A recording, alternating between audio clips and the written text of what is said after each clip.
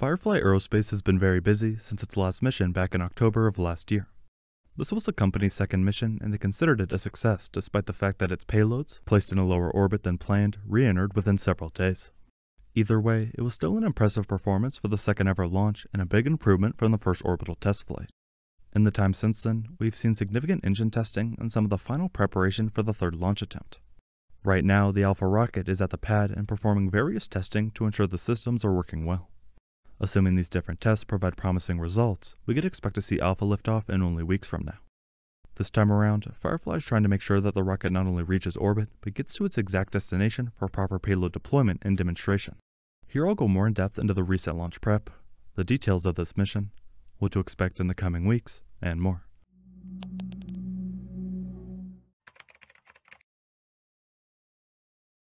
Starting only days ago on the 28th, Firefly tweeted saying, Launch update. Things are rocking in Vandenberg. The team has moved Alpha to the pad ahead of final system testing and a full duration static fire for the Space Force DoD Victus Nox responsive space mission. Just weeks prior, the company was in the final integration of their Alpha rocket and were standing ready for the 24 hour call up.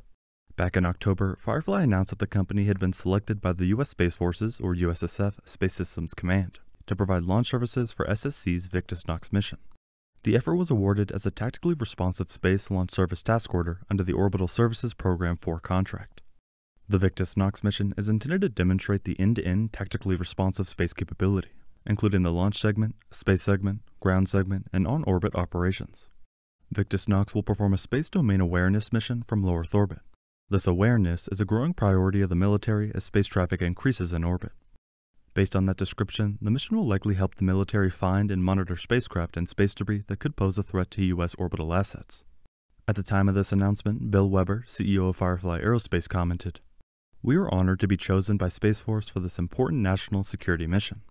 Now more than ever, our country needs the ability for quick response capabilities to combat threats in space. Our Alpha launch vehicle is designed to drive affordable, rapid access to space.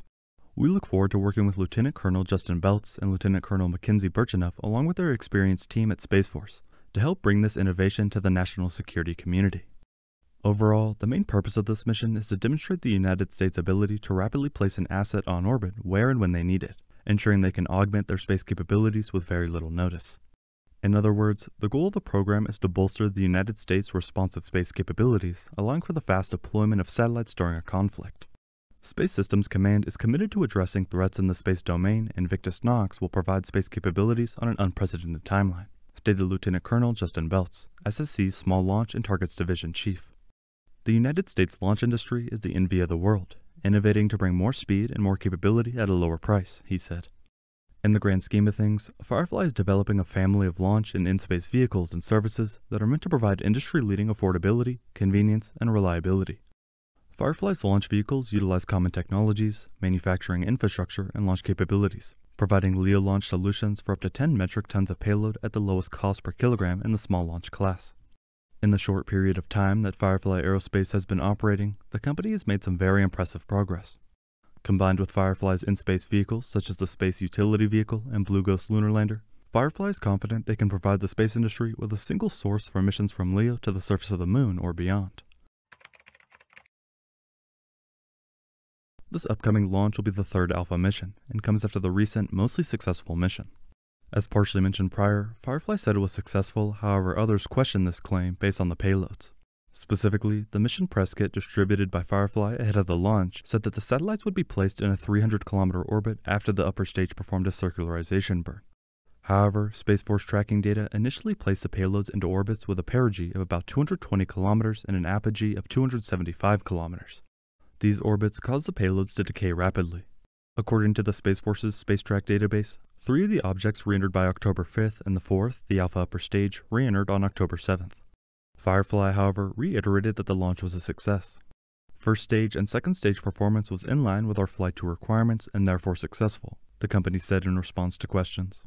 The flight began with a nominal countdown and liftoff at 12:01 a.m. PDT and progressed flawlessly through each stage of flight then inserting into an elliptical transfer orbit, coasting to apogee, and performing a circularization burn with confirmation of final payload deployment at approximately T plus 1 hour, which was one of the most technically challenging aspects of the mission. This flight deployed a total of three payloads, including demonstration satellites for NASA's TechEd Sat-15 in conjunction with San Jose State University, Teachers in Space, and the Libre Space Foundation. These payloads were meant to perform several in-space experiments, including an exobrake, to help in the deorbiting of satellites and test the world's first fully free open-source telecommunications constellation. Moving on from this last mission, the company has been working on an even bigger engine for a bigger rocket. Just over a week ago, the company tweeted mentioning, Risk reduction testing for our Miranda engines is complete and we're on track for the first hot fire this summer. As a larger, scaled up version of our Reaver engines, Miranda will power the medium launch vehicle we're co-developing with Northrop Grumman. We are making significant progress in the development of our Miranda engines that started less than a year ago, said Bill Weber. By leveraging our flight-proven engine architecture and our team's propulsion expertise, we are conducting a hot fire test in just a few months.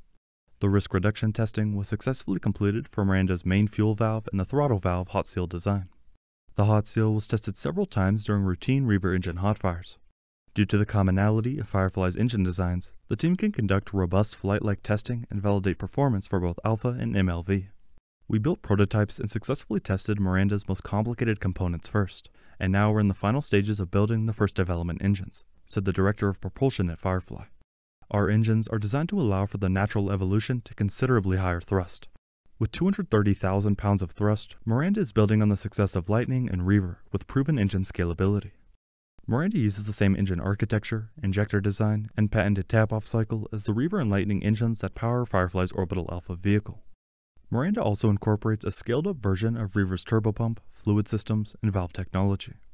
The company used extensive data from more than 500 Reaver and Lightning engine tests, accounting for more than two hours of runtime, to scale the Miranda engines and improve reliability. Following Miranda's first hot fire test this summer, Firefly will start engine qualification this fall. The company's culture of rapid design, iteration, and agility further enables Firefly to meet MLV's schedule with a cost-effective, high-performing solution. In comparison, Alpha utilizes well-established propulsion technology. Both stages use common designs, copper regen-cooled LOX slash RP1 thrust chambers, a simple tap-off cycle which drives single-shaft turbopumps, nozzle-mounted turbine exhaust manifolds, and hydraulic actuators. Innovations in Firefly engines include crossfire injector, tap-off geometry, and ultra-compact horizontal turbopump mounting. The upper stage engine Lightning includes a turbine exhaust cooled refractory metal high area ratio nozzle extension. The first stage Reaver engine features simple single-axis gimbaling. Consistent with the overall Alpha vehicle design, cost and performance are traded and optimized in Lightning and Reaver components to provide the best payload performance value. In the coming weeks, we can expect to see more tests in these exact engines in action. Firefly Aerospace could be just weeks away from its next mission. This time around, they're hoping for a 100% successful launch with no questions regarding payload deployment and reentry. We will have to wait and see how it progresses and the impact it has on the space industry. Thank you very much for watching.